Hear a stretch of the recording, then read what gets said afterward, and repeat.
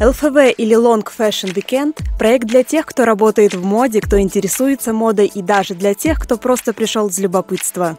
Дизайнеров мы не знаем, вот пришли узнать, что будет интересного. У нас тут подруги будут ходить в качестве моделей, и все-таки мы взрослеем, и хочется все-таки следить за модой. Знаю то, что будет а, Катя Субботина, вот ее очень хочется посмотреть на самом деле.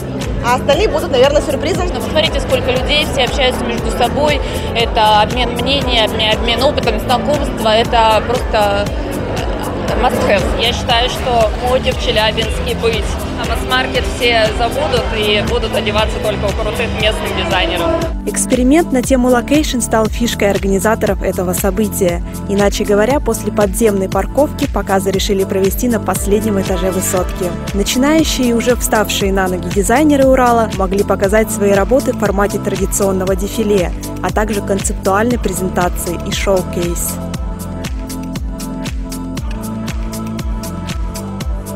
Я из Челябинска, моему бренду три года. Начала я с коллекции шапок, так как я сама хорошо вяжу и, очень люблю это дело. Э, начала вязать джемпера, вязаные пальто.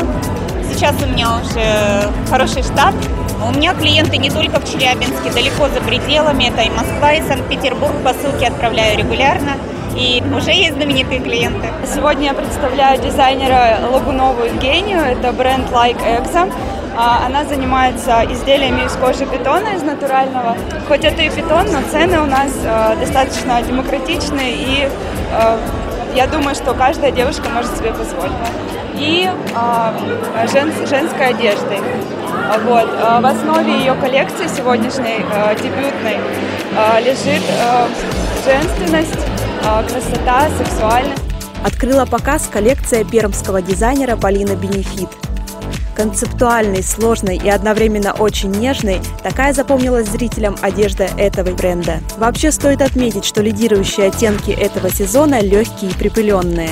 Нарушают эти цветовые умиротворения эксперименты с формой и смешением фактур. Закончила первую часть показа футуристическая коллекция московского дизайнера Веры Кульшицкой.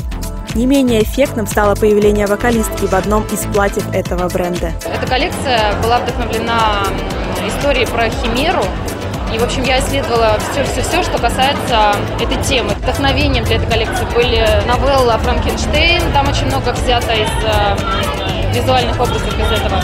Вот, э, и, в общем, такое темное романтическое настроение коллекции. Второй путь, который наметила себе мода в этом году, в противовес нежной гамме романтических образов, тема гранжа и бродяжничества и так называемого дарк фэшена.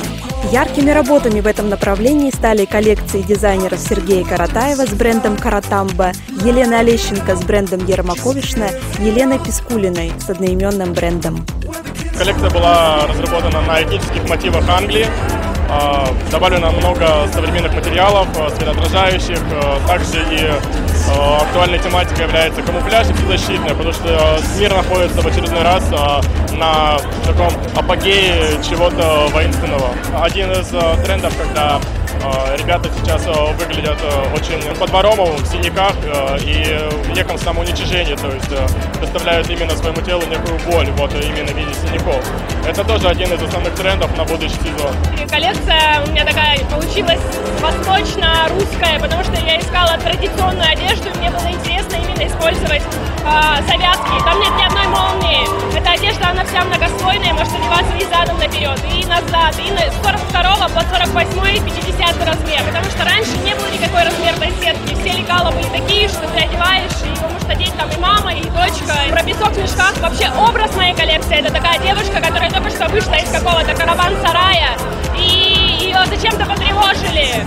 И в связи с тем, что мы не можем здесь насыпать дюны, она так скучает по своей природе, что она ее берет с собой. Обрести необходимый флер образности проекту помогли его шеф-стилисты Нина Романова-Нарская и Ирина Жохова. Вот здесь за кулисами это такой фундамент этого показа, потому что а, есть визажисты, есть стилисты, и шефы которых прорабатывали конкретно каждый образ каждым дизайнером.